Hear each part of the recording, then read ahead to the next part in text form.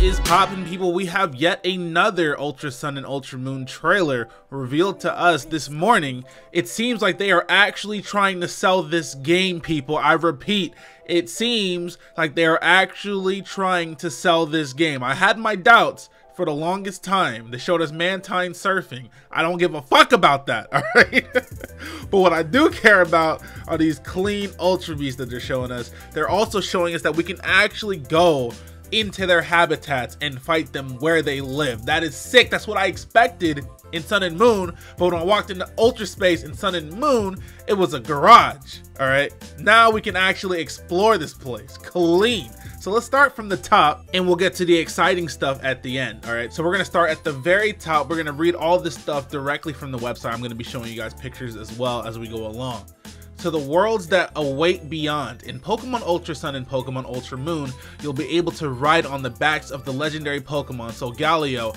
and Lunala to travel through an Ultra Wormhole and reach the worlds that lie beyond. The Ultra Wormholes are strange pockets of space that have been seen in the Alola region before. In Pokemon Sun and Pokemon Moon, players saw a hint of the worlds that could lie beyond. A hint! Boy, that was like a grain of salt absolutely nothing. It was like a grain of salt in a, in a pond, dude. It was like a grain of rice in some soup. It did nothing. All right. They literally showed us Ultra Garage, Ultra Garage Sale, and it, it, was nothing. All right. But now, like I said, it literally seems like we can go into Ultra Space and explore all of it, and it's so sick. All right. but most of the truth remains shrouded in mystery. You don't say. Anyways, um, there's another excerpt here. In Pokemon Ultra Sun and Pokemon Ultra Moon, you can explore the various worlds that lie through these Ultra Wormholes. Within an Ultra Wormhole, there are countless warp holes that lead to different worlds. Try exploring different worlds by passing through these warp holes. You can even go to the home worlds of the mysterious Ultra Beast. So that's what we saw before. So it seems like Ultra Space leads to different worlds itself, and one of the worlds it leads to is the one we live in and then another one of the worlds that it leads to is the one you know, say Xurkitree lives in, or Guz uh, or Guzzlord or Buzzwole, stuff like that. So in the trailer that they, I'm not gonna, you know, I, I can't really show clips of the trailer in my videos because Pokemon like instantly bans them from YouTube. So I, I uh, have to get pictures, but um, you guys can see some of the habitats in these pictures right here.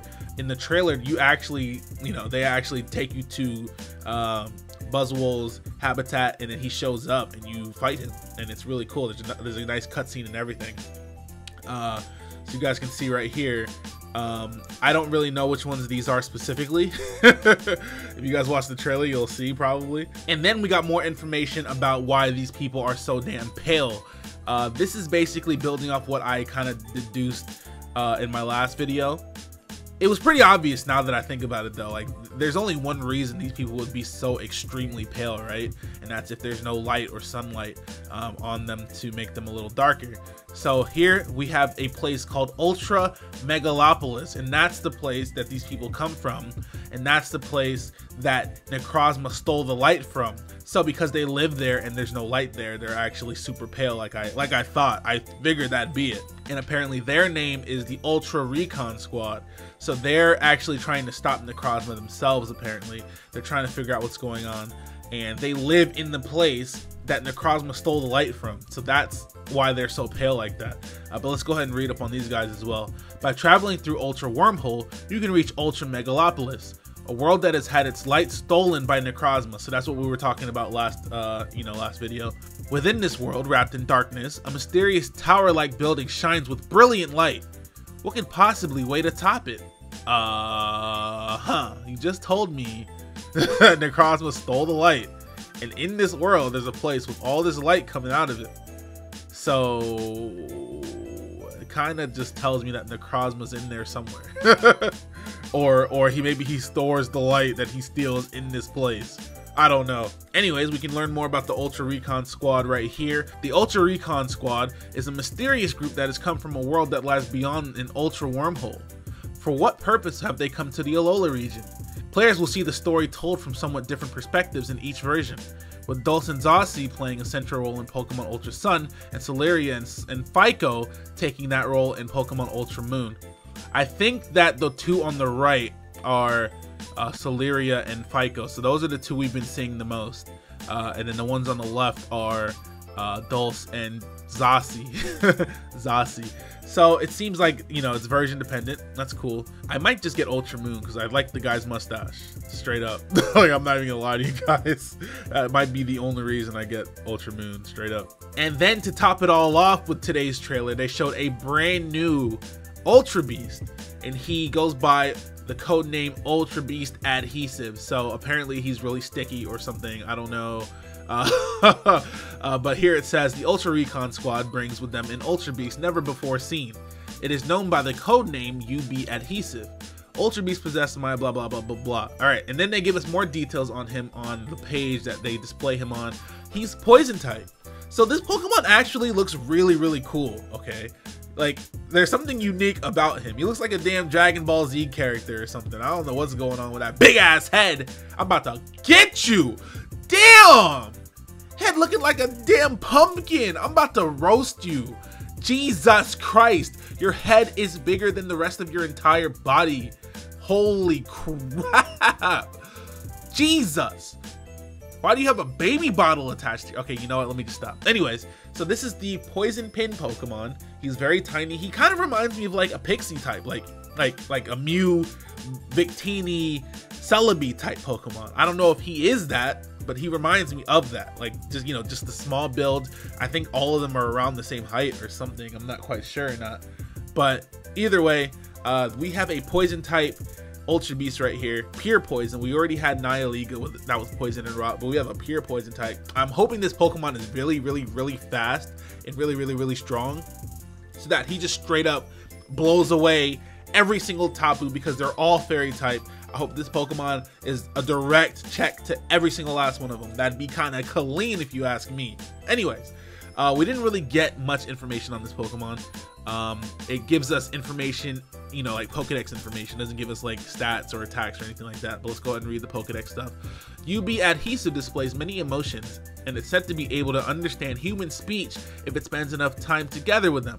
So I'm thinking he could be the the Pixie Pokemon. Was there a Pixie Pokemon in Gen 7? Because I can't think of it if there was one. Oh, Magearna. Damn it. Okay, wait, wait, wait, wait. There was a gen that had two. Which one was it? Was it 5th gen? Think it was 5th gen. What? There was a generation with two Pixies. I don't remember off the top of my head, but I'm pretty sure it was 5th gen.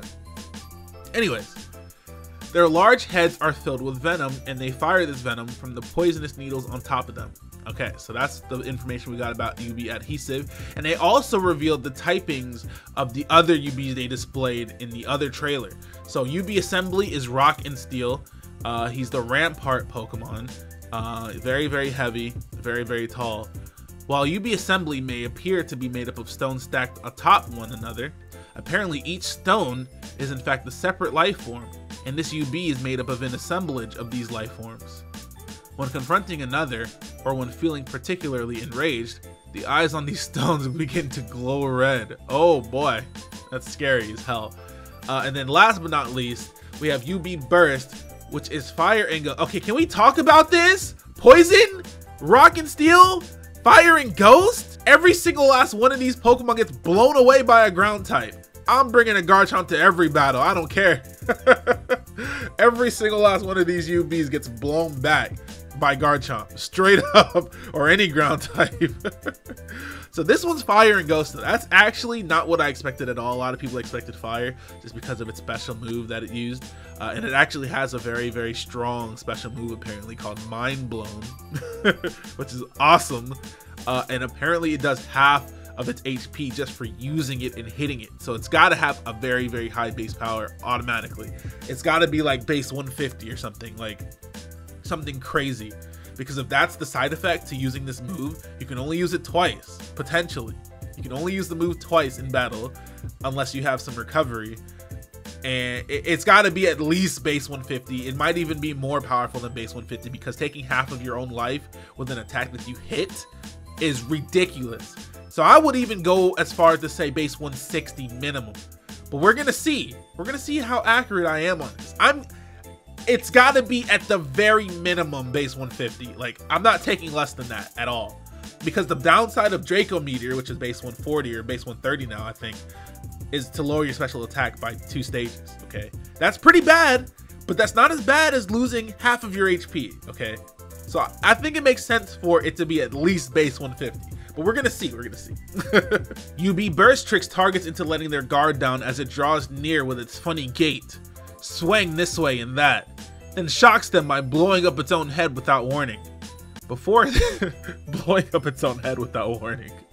That sounds so crazy. Before they can recover their senses, it steals their vitality, which it's said to use as a source of energy.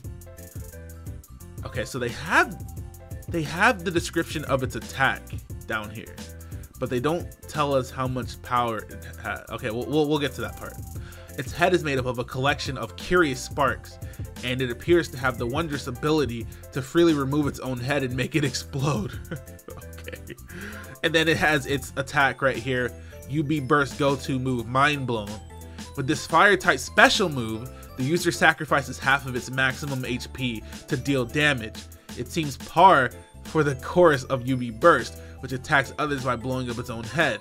And despite its comical appearance, this move packs some serious power. I knew it. It's gotta be at least base 150. I know it is. It has to be. You can't take half of somebody's HP without, you know, a reward. You know what I'm saying? And it's always taking half of their HP, and it always does a lot of damage. So it's gotta be at least base 150. I'm calling it right now, base 150 or more. All right. And I'm pretty sure that's that's that's you know that's pretty safe to bet. And if that's the case, I am slapping some choice specs on this thing. As soon as I get my hands on him, I'm OHKOing everybody. Suicune's getting OHKO'd. Tyranitar is getting OHKO'd by a fire move in the sand. Let's go. A special one. Let's get it. All right. and I think that's all I have today, guys. Um, I'm sure there's more information that I left out, but I don't think I left out anything too important. So, uh, as soon as there's more information, I'll be back. So go ahead and hit that like button, comment, subscribe if you guys did enjoy this video. Um, this game comes out in a month and a half, I believe, or a month and a, a little less than a month and a half. So uh, there's gonna be plenty of Sun and Moon, Ultra Sun and Moon content on this channel. Uh, best content on YouTube, of course, obviously, duh. Um, but anyways, yeah, hit that like button, comment, subscribe, and we'll be back when there is more news. Goodbye.